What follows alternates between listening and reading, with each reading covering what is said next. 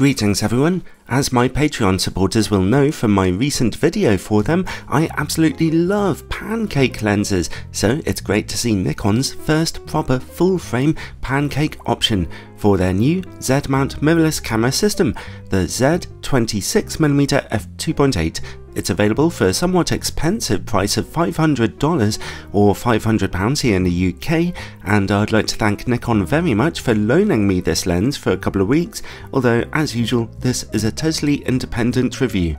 Aside from the lens's very thin size and low weight being an attraction, that 26mm focal length is also pretty interesting, being lovely and wide. The maximum aperture of f2.8 is only what you can typically expect of most pancake lenses that are this wide, but it still enables you to shoot in darker situations and get out of focus backgrounds when you move in closer to your subject. Overall, the lens could make itself really useful on your camera for all kinds of everyday photography. The lens's body is mostly made of plastic, although it is based on a metallic mount with a weather sealing gasket, a nice touch. The lens's only control point is a plastic control ring that turns very smoothly and can be set to adjust manual focus or set in your camera's menus to change other settings. When manually focusing, there is just a little bit of a lag with the focus motor, but it is responsive enough just about. The lens also exhibits a fair bit of focus breathing, as you can see here. The lens's autofocus motor is also not a strong point, it moves just averagely quickly and lets you know about this with an audible whirring noise. It does at least work accurately, however. You can't fix filters onto the front of the lens directly, but it does come with a thin little plastic hood, which does have a 52mm filter thread.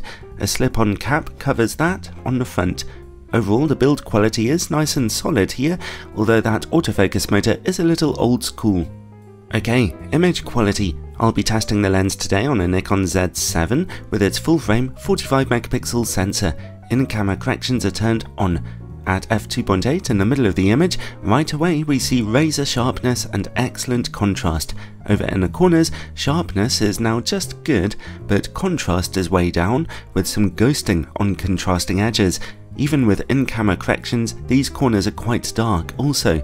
Stop down to f4 and f5.6 for small improvements in contrast, but even at f8 or f11, corner sharpness is still good but not great.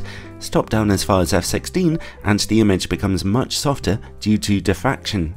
Overall, while image quality is always fantastic in the middle, corner image quality never gets beyond the dizzying heights of just good.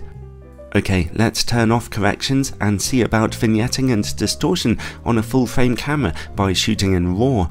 Without corrections, unfortunately we see a lot of it, strong barrel distortion and very dark corners at f2.8.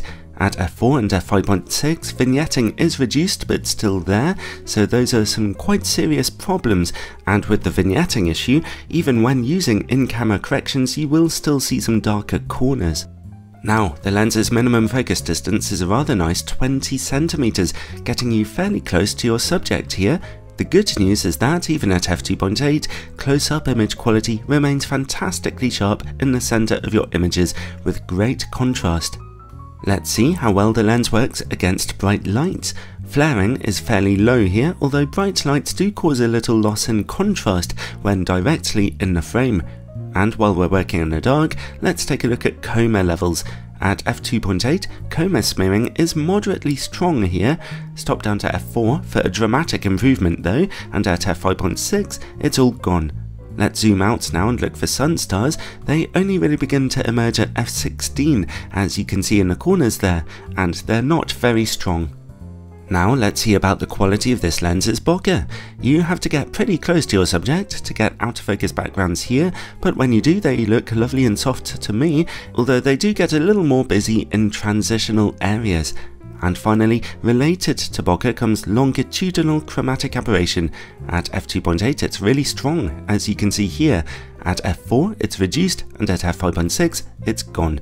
You can also observe some focus shift here. The focal point moves backwards noticeably as you stop the lens down.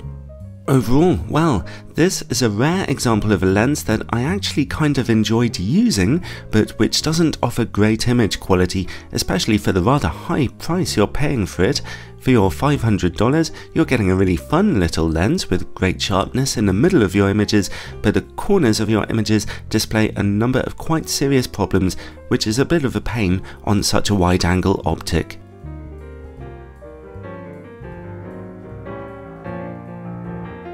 Alright, hope you all found that useful. I love testing out all these camera lenses and I like doing it in a standardised way so you can compare them all for yourselves. Special thanks to my Patreon supporters who make a big difference to keeping these videos going and who get all kinds of exclusive bonus content and other videos which I really enjoy putting together for them. Check it out in the description below. Thanks for watching and ciao for now.